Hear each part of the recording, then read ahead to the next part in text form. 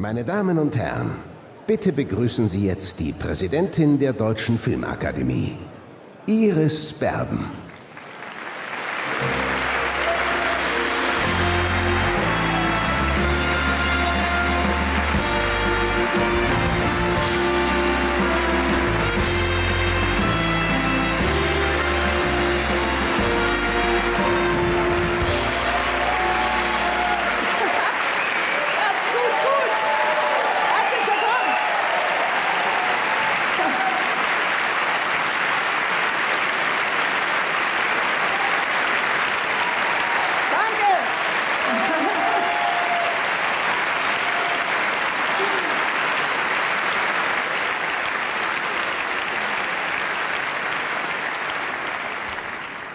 Das tut schon mal gut. So dieser erste Rauskommer ist geschafft.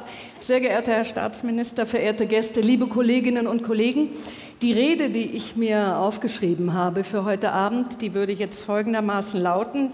Ja, das ist nun das dritte Mal, dass Bruno Ganz und ich hier vor Ihnen stehen. Bruno Ganz steht nicht neben mir. Bruno Ganz ist krank. Und ähm, wir hatten bis heute Nachmittag gehofft, dass er doch noch kommen würde. Aber es geht ihm nicht so gut, dass er das Bett verlassen konnte. Ich denke, von dieser Stelle aus können wir alle ihm äh, gute Besserung wünschen.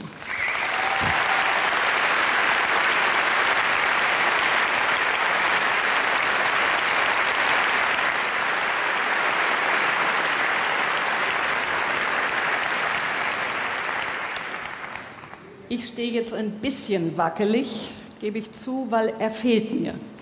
Er fehlt mir dieser wunderbare, ruhige Kollege, der mich dann ähm, einfach in den Arm genommen hat, kurz vor dem Auftritt und gesagt hat, das schaffen wir. Aber gut, ich finde, wir gehen es jetzt mal gemeinsam an, oder? Ja, das ist jetzt also, ja, ich schaffe das. Äh, das also, das ist jetzt das dritte Mal, dass ich hier heute das erste Mal alleine stehe und so etwas wie eine kurze wie eine kleine Bilanz des Filmjahres 2011 aus Sicht der Deutschen Filmakademie ziehen möchte. Aber selbst in dieser noch verhältnismäßig kurzen Zeitspanne der Amtszeit von Bruno und mir haben wir festgestellt und wir haben gelernt, dass kein Jahr mit dem anderen vergleichbar ist. Es fängt alles, wie beim Film, immer bei Null an. Vielleicht kann man jedoch sagen, dass wir jetzt im neunten Jahr der Gründung der Deutschen Filmakademie öffentlicher geworden sind, noch selbstbewusster, kritischer und auch unsere Aktivitäten sind gewachsen, wie auch unsere Haltung. Es gibt ein paar Beispiele, die ich hier ganz gerne nennen möchte, vielleicht gar nicht mal nur zur Information, vielleicht ist es ja vielleicht auch eine Idee für jemanden, sich selber einzubringen. Da ist unser Wissensportal 24.de, das sich für die Filmbildung in Schulen einsetzt. Wir brauchen so früh wie möglich einen Zugang zur Filmkultur. Aus der Akademie entstanden sind die Filmmakers in Prison. Vernetzt mit Menschenrechtsorganisationen ist es eine direkte Anlaufstelle für Filmemacher aus aller Welt.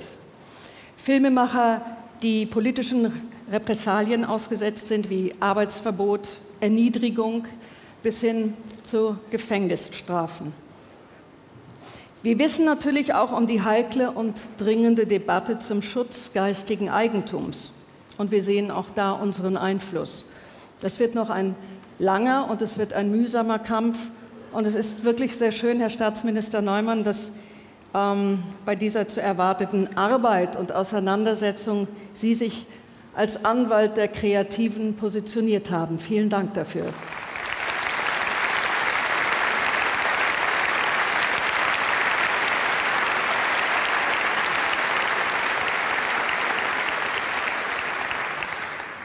Die Novelle des Filmförderungsgesetzes kann niemandem von uns gleichgültig sein. Okay, vielleicht bis auf Klaus Lemke. Und auch da heißt es, präsent zu sein in der Akademie. Das sind jetzt mal die großen Baustellen, die wir in, unserer, in unseren eher kleinen Büros so angehen. Und an dieser Stelle auch wirklich nochmal ein ganz großes Dankeschön an den Vorstand Thomas Kufus, an die Geschäftsführung Anne Lepin und Alfred Holichhaus und all die helfenden Engel und Bengel, ohne die überhaupt nichts vorwärts ginge.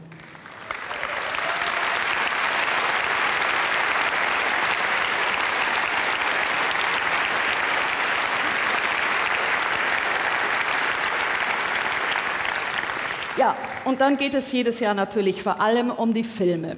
Filme, die mit Herzblut, mit Mühe, mit Leidenschaft, Überzeugung, manchmal mit Kalkül und Strategie hergestellt oder sich auch ertrotzt wurden. Große, kleine, laute, zärtliche, verstörende Filme. Filme, deren Themen, deren Formen, deren Qualität uns überrascht, aber manchmal auch enttäuscht haben. Und es geht um die Vielfalt, eine sehr zuverlässige Konstante in den deutschen Kinos, die Vielfalt. Das Ringen um das Prämieren des besten Filmes, der herausragendsten Schauspieler, der eindrucksvollsten Gewerke, das gehört jedes Jahr zu den ausgiebigsten und emotionalsten Diskussionen. Ob sich das jemals ändern wird oder soll oder kann, ich weiß es nicht. Aber wenn wir uns als Gemeinschaft verstehen, mit unterschiedlichen Temperaturen und Bedürfnissen, mit unterschiedlichen Träumen und Anforderungen an uns oder auch an das Publikum, dann haben wir eine gute und dann haben wir auch eine kraftvolle Basis, die von gegenseitigem Respekt zeugen sollte und uns dadurch erst die erwünschte Vielfalt ermöglicht. Von den cineastischen Arthouse-Filmen bis hin zu den nationalen Erfolgsproduktionen. An dieser Stelle möchten, möchte ich, nein, nicht wir, ich bin ja ich alleine, an dieser Stelle möchte ich mich, aber wir uns als Akademie und äh, Macher bei all denen bedanken, die diesen Abend unterstützt und möglich gemacht haben. Das sind die Hauptsponsoren Volkswagen, Telekom, HTC, Estée Lauder, Armand de Brignac und das Hotel Concorde. Das ist natürlich unser, ja genau, Applaus.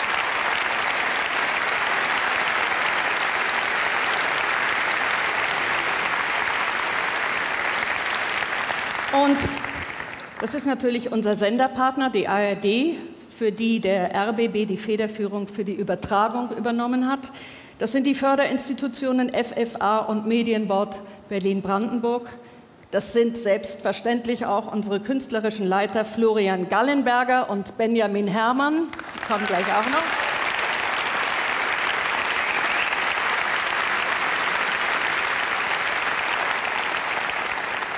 Zusammen mit dem Team der DFA-Produktion und der Filmakademie.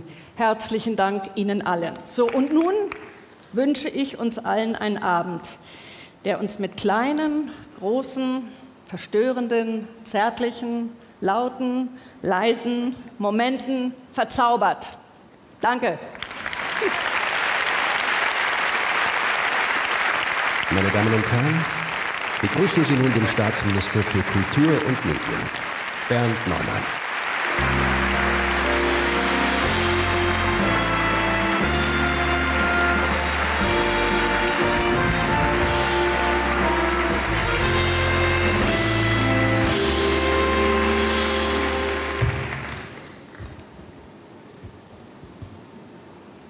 Liebe Iris Berben, liebe Kolleginnen und Kollegen aus dem Deutschen Bundestag, meine Damen und Herren, zuerst einmal herzlich willkommen zur Filmpreisverleihung hier im Friedrichstadtpalast in Berlin. Was ich über den deutschen Film denke und warum ich mich seit Jahren für ihn engagiere, ist mittlerweile hinlänglich bekannt. Deshalb will ich auch gar kein Loblied auf den guten Filmjahrgang singen, den wir heute feiern, obwohl das durchaus seine Berechtigung hätte. Lassen Sie mich zu anderen aktuellen Punkten kurz Anmerkungen machen. Der Dokumentarfilm erfreut sich seit längerem bei den Kinobesuchern zunehmender Beliebtheit. Die Filme dieses Genres haben Ja, ich gebe Ihnen gleich die Gelegenheit, äh, an der richtigen Stelle nochmal für die Qualität des Dokumentarfilms Beifall zu spenden. Wollte gerade sagen, dass die, die Filme dieses Genres des Dokumentarfilms ja, sich nicht nur quantitativ, sondern auch qualitativ in den letzten Jahren deutlich verbessert haben. Um nur ein Beispiel zu nennen, ein jüngstes, eine halbe Million Besucher haben allein in Deutschland bislang Wim Wenders Pina gesehen. Ein großer Erfolg für einen Dokumentarfilm. Diese erfolgreiche Entwicklung hat uns bewogen, zusätzlich 100.000 Euro für die Nominierung eines dritten Dokumentarfilms zur Verfügung zu stellen, erstmalig für diese Preisverleihung.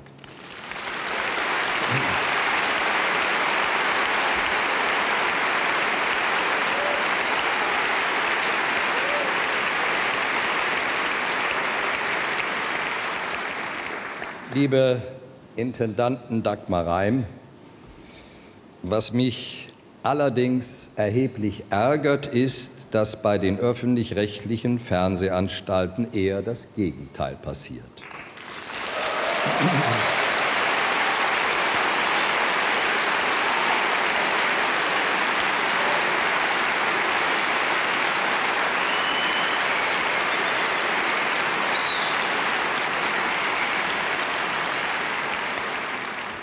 Entgegen ihrem Auftrag, sich insbesondere für Kultur zu engagieren, werden Dokumentarfilme immer weniger unterstützt und ihre Filme häufig auf unattraktive Sendeplätze in Richtung Mitternacht verbannt. Meine Forderung, lieber eine Talkshow weniger und dafür besser und mehr Kultur.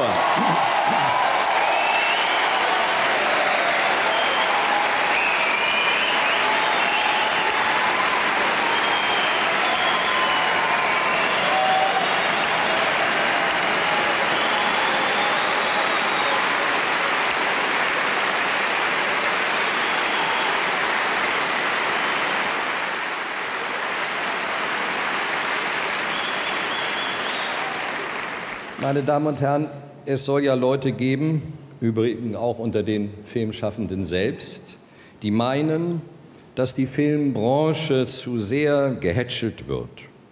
Es gäbe zu viele Förderprogramme und dann auch noch mit dem Deutschen Filmpreis, dem hochdotierten, höchstdotierten Kulturpreis Deutschlands. Erst eine spartanische Lebens- und Produktionsweise, so meint man, würde die Kreativität so richtig anheizen. Dem kann ich nur entgegen, entgegnen. Die allermeisten Filmschaffenden in Deutschland sind nicht auf Rosen gebettet. Festanstellungen zum Beispiel sind in der Branche eher die Ausnahme. Kurzfristige Beschäftigung für viele die Regel. Ich habe mich mit Unterstützung der Abgeordneten, insbesondere im Hinblick auf die Schauspieler, erfolgreich dafür eingesetzt, dass sich bei den Fristen für den Bezug der Arbeitslosenunterstützung 1 etwas bewegt, etwas verändert wird. Denn es kann nicht sein, dass ganze Berufsgruppen außen vor stehen, nur aufgrund der besonderen Beschäftigungssituation beim Film.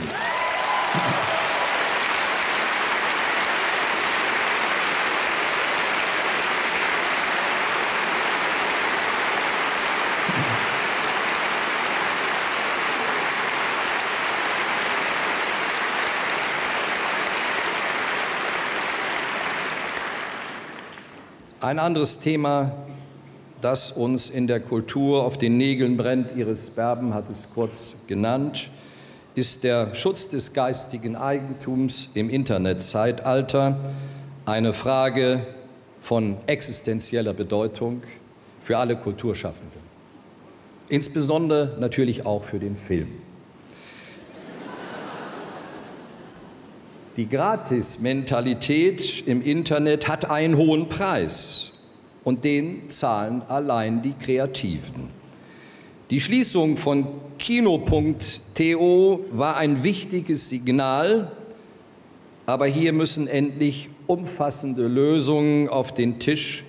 Und damit meine ich den sogenannten dritten Korb der Urheberrechtsnovelle, der auf keinen Fall ein Körbchen werden darf.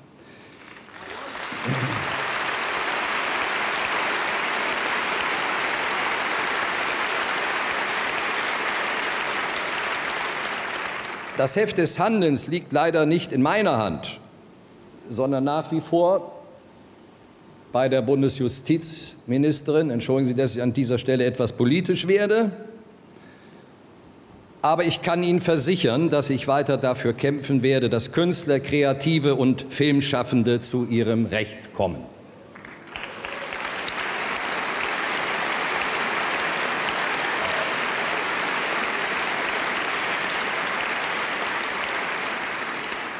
Meine Damen und Herren, wir haben ja anscheinend den sogenannten Kulturinfarkt ganz gut überlebt.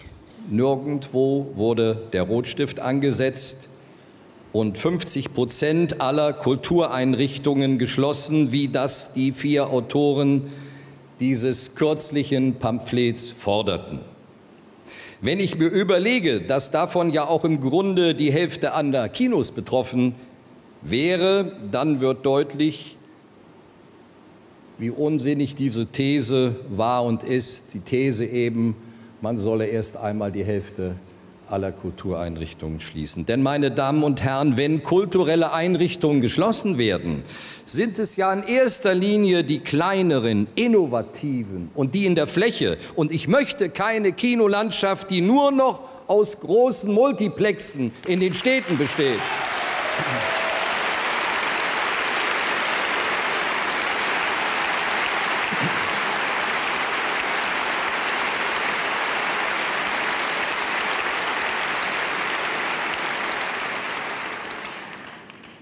Ich finde, jedes einzelne der 1600 Kinos in unserem Land, es werden ja weniger als mehr, muss uns am Herzen liegen. Deshalb geben wir ja gerade den kleinen Kinos auch einen Zuschuss zur Digitalisierung, für die es, was die zukünftige Entwicklung anbetrifft, keine Alternative gibt.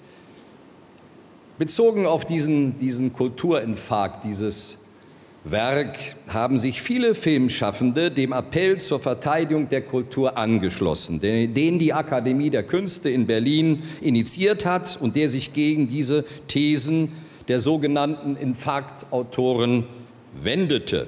Neben der Präsidentin Iris Berben sind einige von den unter Zeichnern heute Abend auch als Nominierte anwesend, wie Andreas Dresen, Christian Petzold und Dagmar Manzel. Meine Damen und Herren, ich danke Ihnen allen, die über ihren Job hinaus sich in diesem Falle kulturpolitisch engagiert haben für die Kultur. Das ist wichtig, dass Sie auch Flagge zeigen.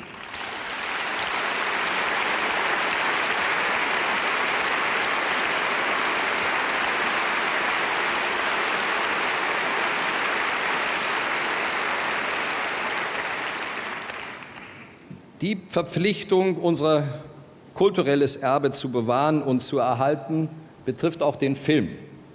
Hierzu ist die Filmwirtschaft wie die Politik gleichermaßen gefordert.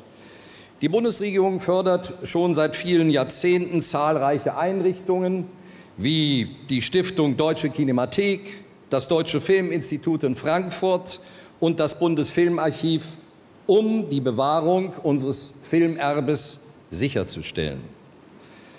Damit diese kulturellen Schätze auch im digitalen Zeitalter sichtbar bleiben, haben wir jetzt in einem ersten Schritt der Friedrich Wilhelm Murnau Stiftung, dem Bundesfilmarchiv und der DEFA Stiftung zusätzliche Mittel bereitgestellt.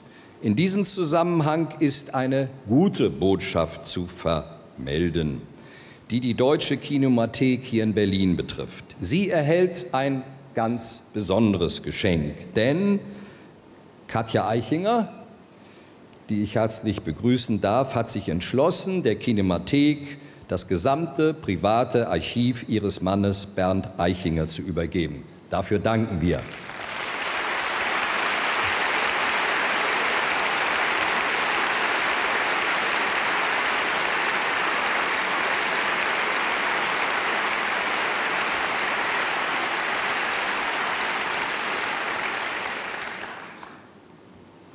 Meine Damen und Herren, abschließend mein Dank geht insbesondere an das Präsidium der Deutschen Filmakademie, Bruno Ganz in Gedanken und Iris Berben hier. Wir danken Ihnen für Ihre ausgesprochen engagierte Arbeit und Ihren leidenschaftlichen Einsatz für den deutschen Film. Und nun, meine Damen und Herren, wünsche ich uns einen spannenden Abend.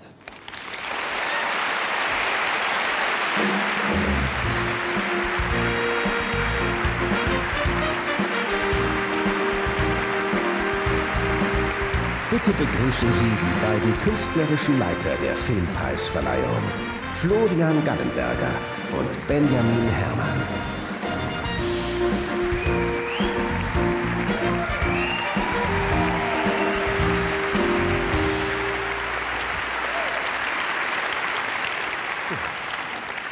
Vielen Dank, einen schönen guten Abend. Ja, guten Abend. Normalerweise erwartet Sie ja an dieser Stelle ein Gag-Feuerwerk der Extraklasse seitens unserer Moderatoren. Aber wir haben es ja gerade gesehen, der äh, äh, Staatsminister und die Präsidentin haben den Saal ja schon zum Kochen gebracht. Insofern haben wir in diesem Jahr neue Moderatoren, die wir noch ein bisschen schonen müssen für die Show.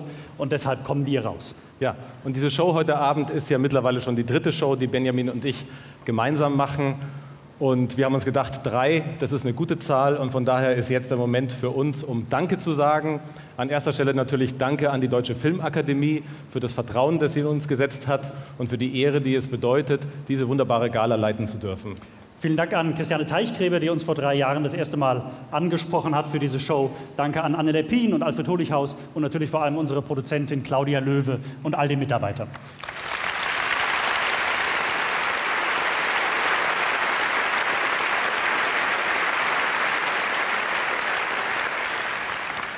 Ja, der Dank ist noch nicht zu Ende. Sie können sich vorstellen, es sind sehr viele Menschen, die an dieser Show arbeiten. Ich kann natürlich bei weitem nicht alle erwähnen, aber ein paar Namen möchte ich doch nennen. Herzlichen Dank an Utz Weber, an Marion Gädecke, an Jürgen Hassler, an äh, Arndt von Rabenau und an äh, Tobias Krämer und seine wunderbare Big Band.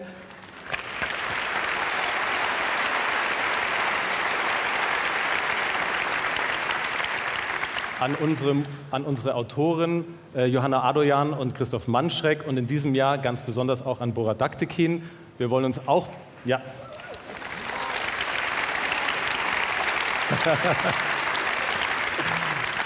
Wir wollen uns auch bedanken bei der Moderatorin der letzten Jahre, Barbara Schöneberger, und natürlich bei unseren wunderbaren Gastgebern für heute Abend, äh, Jessica Schwarz und Elias Mbarek.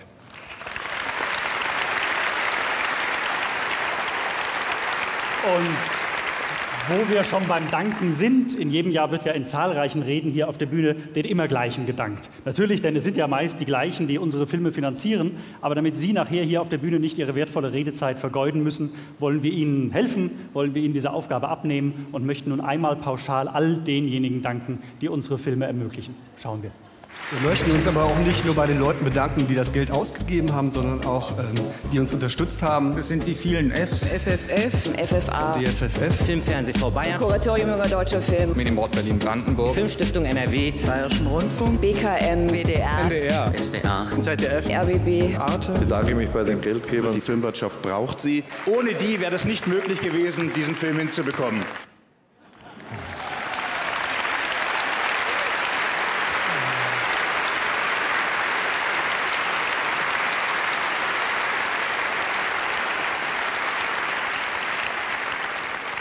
Ja, der Dank ist nicht nur eine schöne Pflicht, sondern wenn er vom Herzen kommt, etwas ganz Wunderbares, etwas Packendes, Bewegendes, Mitreißendes. Gucken Sie noch mal. Ich bin einfach glücklich und ich sage Danke. Also Dankeschön. Herzlichen Dank. Danke. Vielen Dank. Vielen, vielen Dank. Thank you. Danke! Vielen Dank. Vielen Dank. Ich möchte mich natürlich bei den Menschen bedanken, die das erst möglich gemacht haben. Danke, liebe Akademie. Ihr seid ja toll. Wer hat mir das eingebrockt? Es war ein scharfer Ritt. Bin sehr berührt. Uff. Ja, wollen wir was sagen? Jetzt bin ich tatsächlich ein bisschen überfordert. Also ich möchte mich bedanken. Vielen Dank. Danke, danke, danke, danke. Danke, danke, danke, danke, danke. Danke euch allen so sehr. Und ihr passt so gut zu meinem Kleid. Wir sahen Kuckerwudelig. Unruhig Diggers. In questo momento così emozionale. Ich weiß nicht wirklich, was ich sagen soll. Wir bedanken uns. Ähm, ja. bedanke mich bei der Akademie. Danke für die Chance. Vielen Dank an meine Eltern. Ich möchte mich bei meiner Schule bedanken. Dann will ich den Bergführern danken. Vielen Dank, Rudi Völler. Und ich danke im Namen aller Kinder dieser Erde. Fick die Henne.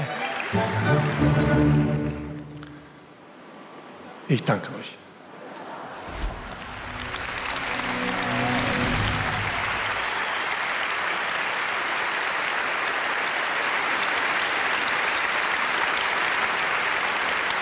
So, nun, nun wollen wir aber loslegen mit dem wahrscheinlich heißesten Moderatoren-Duo, das der Deutsche Filmpreis je hatte. Und wir sind besonders stolz, dass Jessica und Elias als Akademiemitglieder aus unserer Mitte kommen. Insofern bitte ich Sie, den beiden gleich in ein paar Sekunden einen wirklich stürmischen Empfang zu bereiten. Ja, schön, dass Sie da sind.